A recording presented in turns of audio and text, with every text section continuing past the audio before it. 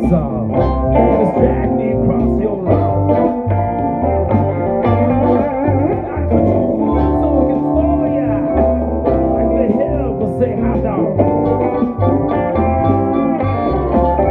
You don't gotta double play the axe. It really good.